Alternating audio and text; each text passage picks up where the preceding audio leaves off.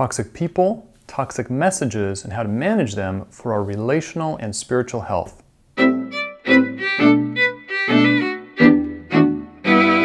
Hi, I'm Dr. Marc Braman. How do we manage the toxic elements in our life, whether they're messages, whether they're people? We just have this sense that they are toxic, like we think of toxic chemicals. How do we manage them well for our relational health and our spiritual health? Now, before we get into this and how to use lifestyle as medicine for our whole person health, it's important to understand a little bit how we work and how we're put together. So, the whole person neuron model helps us understand that the core of who we are, that spiritual aspect of our nature, is a matter of being. It's a matter of who we are. And a key function of that being or who we are is our intentions. Okay? Our intention or intentions, especially towards other people. And in our relationships, both horizontally with other people and in our relationships to a higher power. Okay, that's where it gets into the what we think of as the spiritual aspect, though our spiritual nature is simply the who we are in whatever dimension we're working in. Now, it's also important to understand that we are designed to connect. That is what we exist for. We get our meaning, our purpose, our our juice, if you will, from positive relationships and connections. And those are essentially a function of positive intentions being expressed back and forth in different ways words, actions, and so forth versus negative intentions and their negative actions or messages. It's also important to understand that who we are at our core and those intentions change how we think, how we feel, and therefore how we act or express ourselves or express those core intentions. So the spiritual is expressing itself through the physical. Okay, you got that? Now, what is the most damaging, the most toxic kind of messages or people? Well, they have to do with intentions. And where we get into lots and lots of the worst trouble and what we would sometimes call evil is where one person or who is telling us that other who's have evil intentions toward us, bad intentions, negative intentions. Okay? May not be true. And especially when it's not true is when it is so damaging.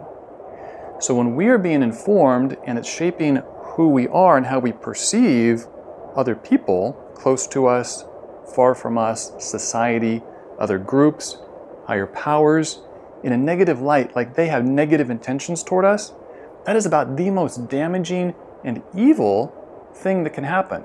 The most toxic kind of messages or toxic kinds of people putting out those messages. So, examples day to day life. Oh, well, Susie thinks your sweater's ugly today. Well, does Susie really think that? Or does Susie think I'm really stupid or Susie doesn't like me? Maybe, maybe not. But that kind of messaging and changing that perspective in our relationship with the other who's is really, really impactful. On the political level, I'm hearing a lot from politicians these days vilifying other people and other groups. This other group of people has these evil intentions toward you. That is highly, highly toxic. It is about the most destructive thing you can do to a relationship on personal levels or on societal levels.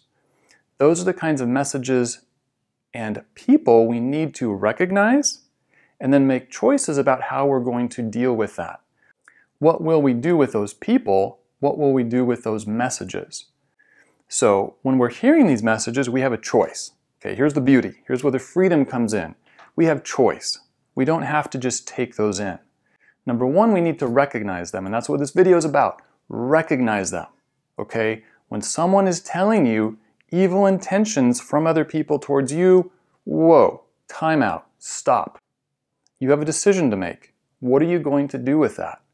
So, whether it's a politician or a person, you get to process that. And I'm going to recommend to you here's your prescription make a choice about rejecting that messaging. Don't be stupid. Pay attention. Don't let people take advantage of you. But don't just take in that kind of messaging. What the science shows and what you find in relationships is that assuming the best is a huge, huge thing that's the basis of relationships.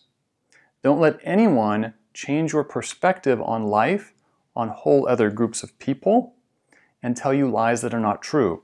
Now, this gets into the spiritual domain, not just in terms of a vertical relationship or connection, but you go back to some of the stories of original sin Adam and Eve, the Garden of Eden, the snake in the tree. When the snake comes to Eve, what is the temptation? Well, yeah, it's the fruit in the tree or whatever, but underlying that and the real problem is oh, well, you know what? Your creator really has not really the best intentions toward you. Therefore, you should do thus and such.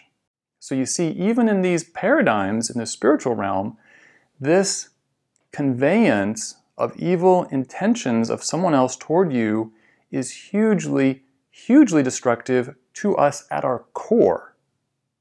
Okay? This is a who level issue.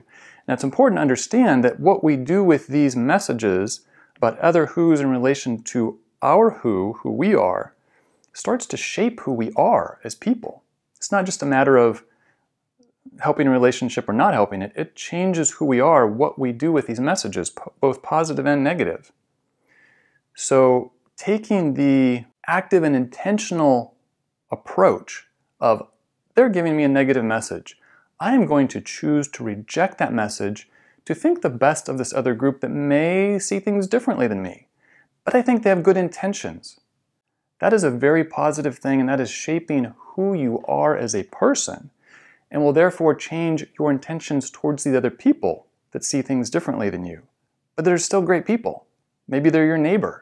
Maybe the person across the street that you can otherwise have a fantastic relationship with. You can take care of them, they can take care of you.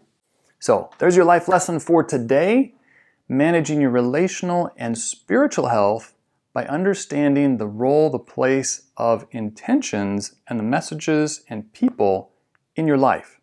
Reject the toxicity, accept and choose, choose to assume the best about other people. Will make a world of difference, not only for your relationships, but even for your physical health. I'm Dr. Marc Braman, empowering you to live healthy, happy, whole.